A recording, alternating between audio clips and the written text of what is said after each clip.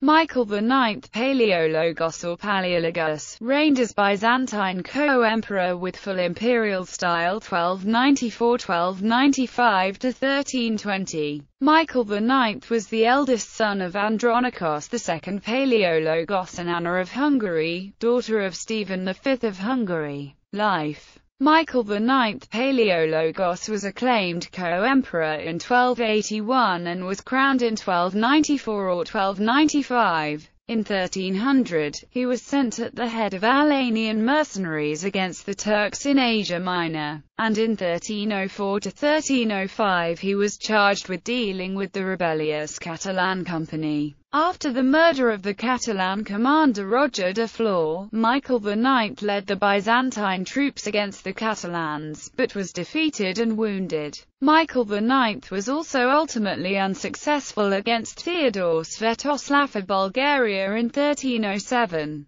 concluding peace in 1307 and marrying his daughter to the Bulgarian emperor. In 1311, Michael IX was defeated by Osman I. Michael IX eventually retired to Thessalonica, where he died in 1320. A brave and energetic soldier willing to make personal sacrifices to pay or encourage his troops. Michael IX was generally unable to overcome his enemies and as the only Palaiologan emperor to predecease his father. Michael IX's premature death at age 43 was attributed in part to grief over the accidental murder of his younger son Manuel Palaiologos by retainers of his older son and co-emperor Andronikos III Palaiologos family. Michael IX Palaiologos married Rita of Armenia, daughter of King Leo III of Armenia and Queen Keran of Armenia on 16 January 1294. By this marriage, Michael IX had several children, including Andronikos III Palaiologos, Manuel Palaiologos, despots, Anna Palaiologina, who married Thomas I Komnenos Doukas and then Nicholas Orsini.